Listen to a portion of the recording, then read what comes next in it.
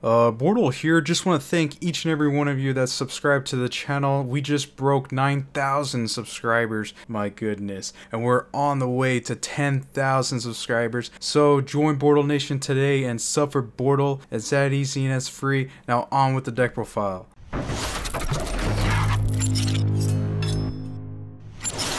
Uh, Bortle here. We have here another 3v3 champion. Brian Chen, welcome back on the channel. Former YCS champion. My goodness, how are you, man? Doing good. And to top it off, you're using Sky Strikers again. That is just insane. So why'd you choose this deck post ban list? Um, so post engage ban, I just like Sky Striker because honestly, just the consistency of the deck changed, but the deck itself played the same way as it did before. Um, but engage was a pretty big hit. But if you make like adjustments towards like you know the meta, then you can still play the deck you like. So that's why I play Sky Striker still. So this three v three event, man. Uh, what other decks were like on your team? Um, so my player A was playing Dragon Link, and my player C was playing uh, Zoodiac Eldritch. Oh, nice! And you were the captain playing Sky Strikers. That's pretty cool. Uh, more or less, yeah. Would you like to do some shoutouts before we start the deck profile portion? Uh, yeah. So I want to shout out my team, obviously, uh, Alex and Vi. Um, they're really good teammates. Uh, I actually did the worst going forward too, but um, I was helping out my team like um before the tournament, like with the deck, with the decks and stuff, and like the choices, the reasoning and stuff, and like doing the match, like I guess certain like interactions that maybe they might have not known that they asked me about. So I feel like we really worked well as a team, and that was why we um, pre- uh, prevailed at the end. Forgot a couple other shout outs. I want to shout out my team, uh, Team Royalty. Um, we, I'm honestly, I think me and uh, one other person, Corey, uh, we're like the only ones that still play right now because everyone's like, you know, kind of off the Yu-Gi-Oh season because of COVID and stuff. But I think when COVID ends, then um, hopefully we like come back together as a team and like top a lot of events like we did in the past. Shout out is like um I guess my like RL friends that aren't really Yu-Gi-Oh. Uh, Tina, Jacob, uh, Annie, and Vin. Um, like they always like keep me busy when I'm like you know not playing Yu-Gi-Oh, and I always appreciate them. Alrighty, so without further ado, please take it away with deck profile, Brian. All right, so I played uh, three Ash Blossoms. Uh, this one's like really self-explanatory, but I think this deck's biggest fear right now is Shaddoll Fusion and Red Eyes Fusion, like just opening them raw, uh, without through Anaconda. So that's why I think Ash is like super important, even though it is one of the low impact traps compared to like Ash and Nibiru, which I don't think go very good in this deck because like for Nibiru it's like kind of hard to get the monster off the board, and for Gamma you're playing with extra dead cards in your deck, which I personally just didn't like, so I didn't opt to play it. And then uh, for the last four monsters, obviously three Raye. And then uh, the more controversial part of the deck is the one Roze. Uh, most people say that you do need starters to play, which I do agree with. But Roze, to me, isn't much of a starter because it doesn't really protect you from anything. And your Sky Striker cards during the end phase, they don't really interact with your opponent unless you open the Multi-Role, which you can't search because Engage is banned. Um, also, every time I open Roze, I feel like you're just playing with one less card. So I'd rather have like a high impact trap, like Ice Dragon's Prison and Solemn Strike um, so that's why I only play the one Roze as like if I could just area zero it on the board and then like afterburn as an extra deck monster, bring it out on the field, then that's like what I think Roze's purpose is, not really much as a starter. So that's why I just played the one. So that's seven monsters, and then for the spells, I played one Call by the Grave.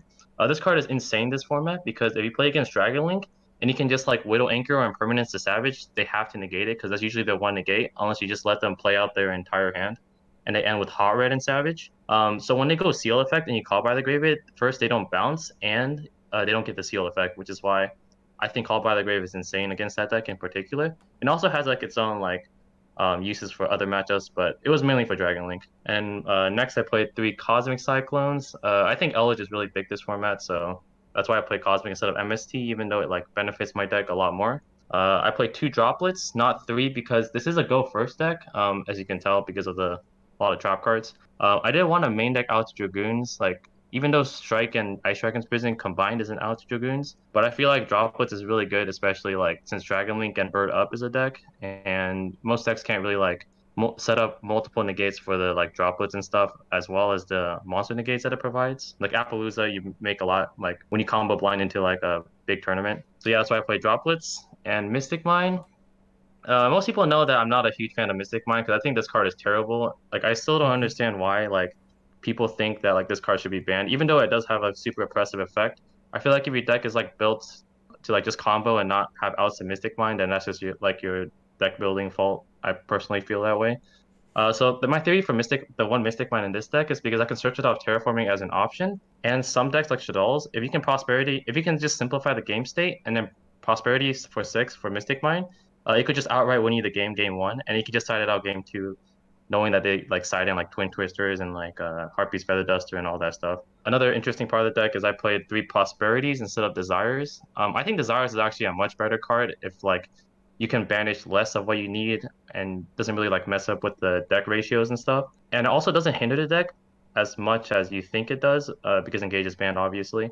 Uh, the only one card you can't use with this card is Upstart Goblin uh, which is like a really small like downside. And it also gives you specific like cards like Pot of Duality, obviously, without the drawbacks. And searching Raye, basically searching Raye with this deck is like super important because the games you do play, as long as you like play it properly, I feel like is how you always win the game playing Sky Strikers. What I usually banish off the Prosperity uh, is usually three for the most part. Um, I usually banish Hulk, Unicorn, and Hayate if I just like need Raye or like don't have a lot of trap cards to protect myself.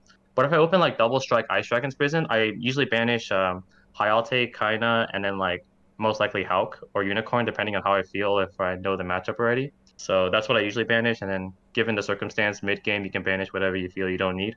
And next I played Rhoda, um, self-explanatory, two area zeros, one afterburners, one hornet bit, two shark cannon. Uh, you don't need to play three anymore because Drytron isn't a like an amazing deck right now. And you don't play Desires, so you won't banish like multiple copies of this card. So I think two is just fine. Three Widow Anchors. Uh, this card is just really good. Uh, Multi-Role and Hercules Base. So I played Hercules Base because I think Shaddoll is like very, very popular right now. And the way this deck beats Shaddolls is you do a little push, you add back a card off uh, red, and then you area zero the red away, so you can't get Shaddoll Fusion for like a plus three. And um, since that deck is um, really strong against this deck in particular because if they aerial you and you lose three spell cards or two spell cards in Raye, that puts you too far behind for you to like have a big push because the spell cards in your grave are what really help you like take all their monsters and then like deal big damage before like you know they can do the same back to you. So that's why I think Hercules, space is really important, and that's why I play the one, obviously. Uh, Terraforming Upside being the last two spells, self-explanatory. Um, so I decided to play trap cards because I think this deck is already good going second. So I don't think a going second deck needs to make its going second even better, especially when it's like an in-person event where if someone saw you play Sky Striker and they see you go blind second, uh, if they make you go first and you open just a bunch of like Mystic Mines, Lightning Storms, like uh, evenly matches and stuff, then you're basically just like passing on like Shizuku or at best like Widow Anchor plus Shark Cannon which I think is like really weak against decks that can play through a lot of interruptions. So that's why I decided to play the trap cards, and I decided to play the six best high impact trap cards in my opinion, which were Ice Dragon's Prison and Solemn Strike. And these are just like hands down the best because Drytron doesn't exist and Strike just negates everything. The last three traps I played was Imperm. Personally, this this trap like uh, for me was like okay. Like the theory was just like um so it would play around talents and against some trap decks, if they put cards into a column, you can just set it and then like hopefully negate it for the turn. You know, just like the old use of impermanence. But the theory was it was like a good card against Rokket and uh, Shaddolls, so, so, that's why I played impermanence. Very good explanation overall for the main deck. Obviously, you can't yeah. really fit Pot of Avarice because you're playing Disparity in this build, but what are your thoughts on like Pot of Avarice and possibly like going towards like uh, you know Desires type builds?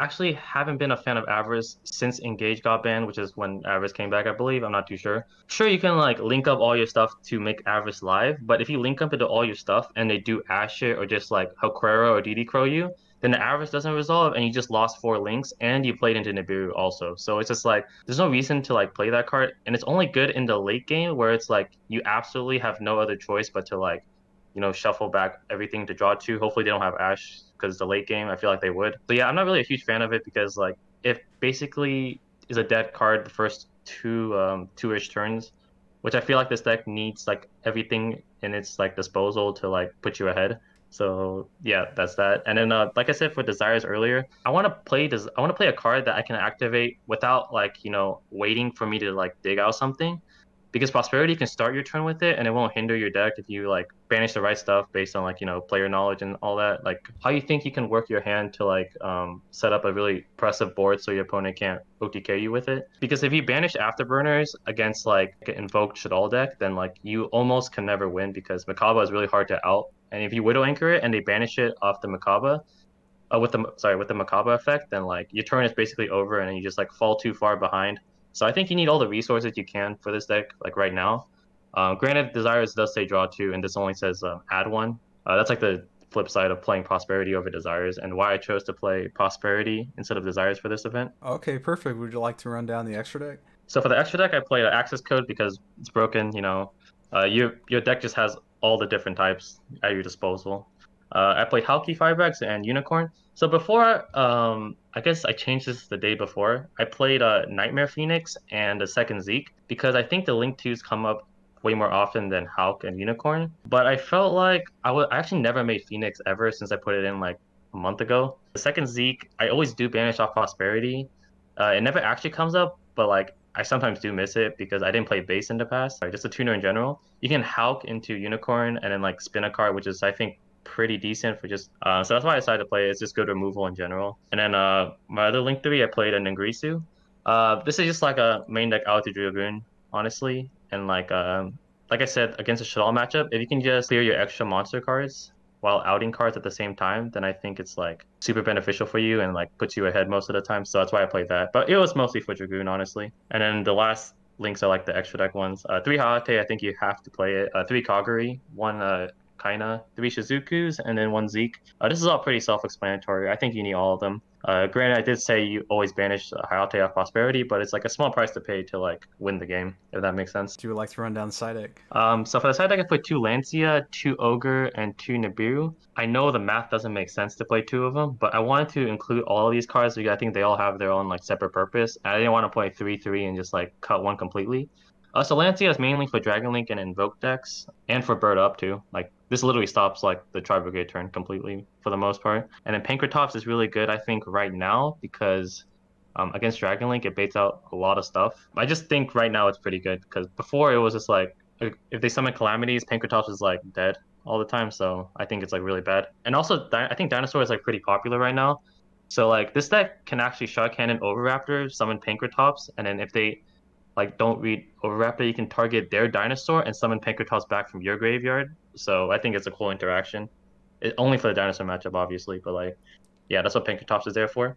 And then uh, for the spells, I played, uh, I cited um, Harpy's Feather Duster, broken against the spells and trap card decks.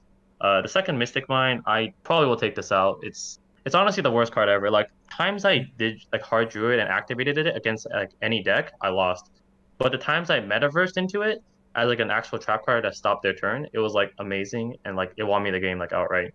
So probably we'll cut that for like a third copy of one of the six hand traps. Two twin twisters because like for the same reason as Duster, you know, it's pretty good. But the last four cards I play Metaverse, like I said, it's like a super good trap card with Mystic Mine. Um, it's basically like the barrier for like most decks. Even though they a lot of the decks do play outs to it, like tidying and stuff, they can't really tidying on their turn before they said or until they said it. So I think Metaverse is really good. And then three solemn judgments because a lot of the decks will make you go first, even though they they do see like a lot of trap cards. And like if you metaverse into mine and you have judgment set, you're basically drawing like two to two two to three turns out, assuming they like don't draw back to back like removal cards. So that's why I play solemn judgment. Alrighty, so that's gonna wrap it up for this deck profile. Thank you again, Brian Chen, for being a part of the channel.